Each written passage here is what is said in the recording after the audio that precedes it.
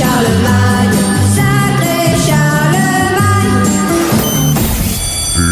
Rendez-vous scolaire. Ah, rendez-vous scolaire des lundis, on les manque pas. Marc Côté, directeur de l'école de l'application, euh, d'application pour euh, les élèves avec des troubles d'apprentissage sévères au consortium Centre Jules Léger. Marc, euh, bon matin, merci d'être avec nous. Bonjour Sébastien, merci de, de me recevoir ce matin. J'adore ça, ce rendez-vous-là, euh, parce qu'on jase des vraies de vraies affaires. Et encore là, ce matin, euh, Marc, j'aimerais ça que, que tu me jases finalement du, euh, du programme euh, pour lequel tu œuvres.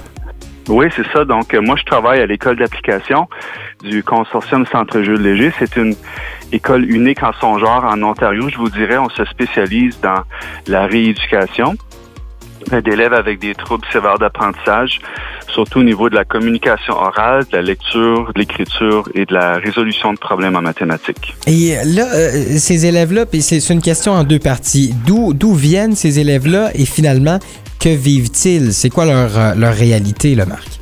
Oui, c'est ça. Donc, c'est une école provinciale. Donc, présentement, on accueille environ une quarantaine d'élèves des quatre coins de la province. On a des jeunes qui nous viennent d'aussi loin que de Sault-Sainte-Marie. Alors, euh, pas, pas, euh, oui, c'est ça, Sault-Sainte-Marie.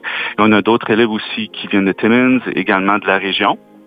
Et euh, eux sont ici pour une période de, de 20 mois euh, pour des raisons là, euh, surtout neurologiques. L'apprentissage scolaire est très très difficile pour eux. Donc un écart important qu'on constate entre le rendement actuel de l'enfant dans son conseil scolaire régulier et, euh, et son potentiel. Donc nous, ce qu'on veut faire dans le fond, c'est les accueillir ici.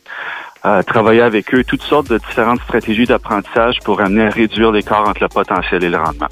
Et euh, euh, nécessairement, euh, qu'est-ce qui est souhaitable à la fin du, du- parcours pour ces, euh, pour ces élèves-là avec un, trouble d'apprentissage sévère? Ben, idéalement, une fois que l'élève a terminé son séjour à l'école d'application, on va le réintégrer dans son conseil scolaire d'attache ou dans son école d'attache. Et on espère qu'au moins tout le côté apprentissage académique va être un petit peu moins difficile.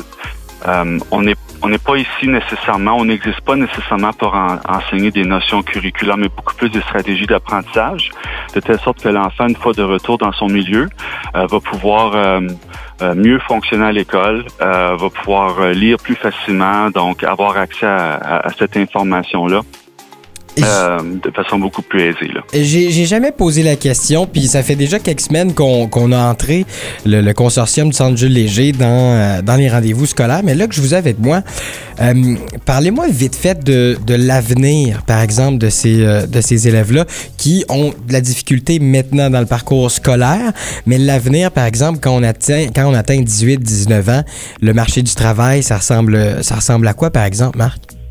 Ben, c'est vraiment du cas par cas. Euh, Il y a certains élèves pour qui euh, la mathématique, c'est très, très, très difficile, alors que pour d'autres élèves qu'on reçoit, c'est une très grande facilité, étonnamment. Donc, ça, ça dépend vraiment du domaine dans lequel l'enfant va se diriger.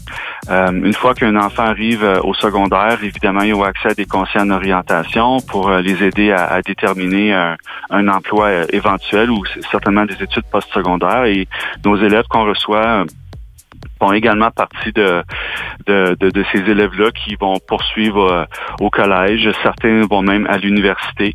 Euh, puis certains vont tout simplement se lancer sur le marché du travail et devenir des entrepreneurs. On a beaucoup d'histoires à succès dans ce sens-là euh, depuis les 40 dernières années, en fait. Il y a du beau pour l'avenir de ces enfants-là. Puis, écoute, je connaissais un peu la réponse, puis je savais que c'était positif, mais ça me trottait dans la tête, puis je suis content que ce soit toi qui, euh, qui ait répondu. Marc euh, Côté, directeur de l'école d'application pour euh, les élèves des troubles euh, avec des troubles d'apprentissage sévères au centre euh, Jules Léger, au consortium du centre Jules Léger. Merci Marc ce matin pour ton temps. Merci pour les questions. On va te retrouver sur uniquefm.ca cet après-midi. Ben merci beaucoup. Merci. Euh, Marc Côté qui euh, nous jasait justement euh, de finalement, je l'ai posé ma question euh, de l'avenir pour ces enfants-là et c'est positif. Alors si jamais vous reconnaissez peut-être une, différence dans l'apprentissage de vos enfants, ben je vous suggère fortement les amis de poser vos questions aux principales intéressés au consortium du, du Centre Jules Léger.